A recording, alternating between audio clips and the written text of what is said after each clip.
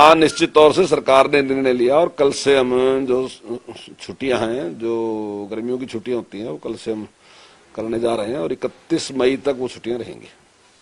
अगर बात करें सर जिस तरह से क्योंकि एक ड्यूरेशन रहता है गर्मियों की छुट्टियों का इतने समय के लिए पहले से ही निर्धारित होती है। क्या क्लब की गई हैं छुट्टियाँ सर्दियों की और गर्मी की छुट्टियाँ मिलाई गई हैं?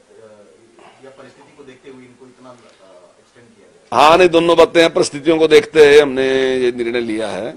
और क्योंकि बच्चों का सिलेबस काफ़ी अधूरा रह जाता है क्योंकि स्कूल बंद रहने की वजह से तो हमने ये जो सर्दियों की और गर्मियों की छुट्टियाँ थी उनको क्लब करके अभी उनको देने जा रहे हैं।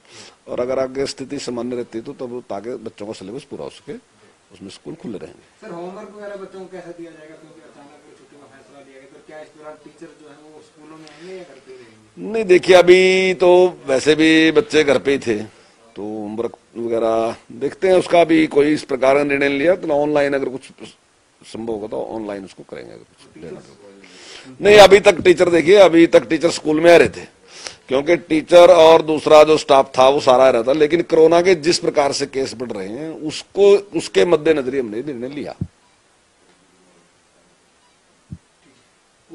कोविड वैक्सीन जो है, उसकी खराबी की खबर लगातार आ रही है और इसको लेकर प्रधानमंत्री की ओर से भी नाराज़गी जो है, वो अलग अलग राज्यों में व्यक्त की गई है।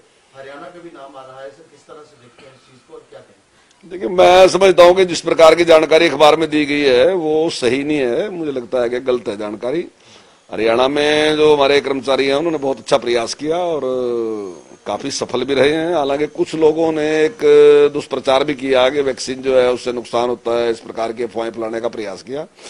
लेकिन जब सभी लोगों ने लगवाना शुरू किया और हमारे सारे माननीय मुख्यमंत्री ने भी, माननीय प्रधानमंत्री जी ने, विधायकों ने, मंत्रियों ने सबने लगवाया तो मैं जब समझता हूँ कि उसका एक अच्छा मैसेज गया, बड़े अधिकारियों ने भी लगवाई वैक्सीन तो उसका भी एक अच्छा मैसेज गया और जो मीडिया है, उससे भी जो जानकारी मिली, उसका भी एक प्रभाव लोगों के ऊपर गया। तो आज के दिन में मुझे लगता है कि इस प्रकार की कोई गलतफहमी लोगों के बीच में है। लोग बड़ी मात्रा में वैक्सीन लगवा रहे।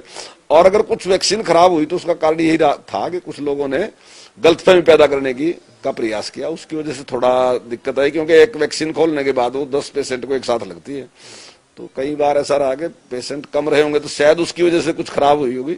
लेकिन मेरा मानना है कि जो जानकारी दी गई, मुझे लगता नहीं कि सही है, लेकिन फिर भी इसके बारे में जो पूरी ज़िम्मेदारी के साथ आपको अपनी बात बता सकते हैं तो वो मंत्री जी बता सकते हैं। प्रदेश के दसवीं के बच्चे निश्चिंत हो चुके हैं, बारहवीं के बच्चे लगातार आपकी और लगा लगाकर टिकटकी लगाकर शिक्षा विभाग की ओर देख रहे हैं।